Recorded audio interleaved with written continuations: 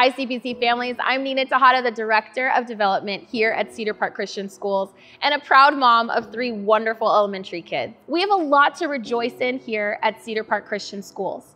We are 2,400 strong, proud to be unapologetically Bible believing college prep program dedicated to developing students to be changed by the good news of Jesus. We hope our students are bold, uncompromising, upholding absolute truth, and thrive in this Christ centered community. In the 22 23 school year, we have seen almost a million dollars come in from your generosity, the generosity of our community. Here's what God has provided through our giving. All of our campuses have received technology updates. We want our classrooms to be the best teaching, learning spaces, and practically this means we've upgraded our classroom technology throughout all campuses with Boxlights and Chromebooks. All of our campuses are working better for security. Last year, several portions of security initiatives were fully funded. We are currently in the process of installing and recovering bids to work on these changes. Our Lynnwood campus is quickly moving towards its new high school building.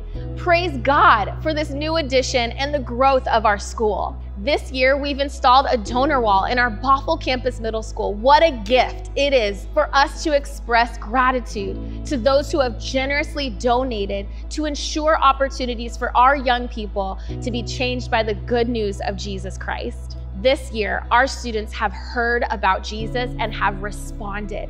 Numerous accounts of students choosing to follow Jesus came from our classrooms, our playgrounds, concerts, or simply just sitting in the office of one of our administrators. We are encouraged by the past two years of 250 plus students professing their faith in Christ and deciding to be baptized in front of their peers. Our growth is built on strong foundation and reaching new heights of influence and impacting this generation and ones to come with the sustained commitment from our giving partners and parents and family and friends just like you. We want to invite you to join our culture of generosity and consider Cedar Park Christian School in the end of the year giving. In the song, Oh Come Let Us Adore Him, I'm actually reminded of that last portion of that hymn that says, We give Him all the glory. We give Him all the glory. We give Him all the glory. Christ the Lord. In all that we do here at Cedar Park Christian School, this is our anthem.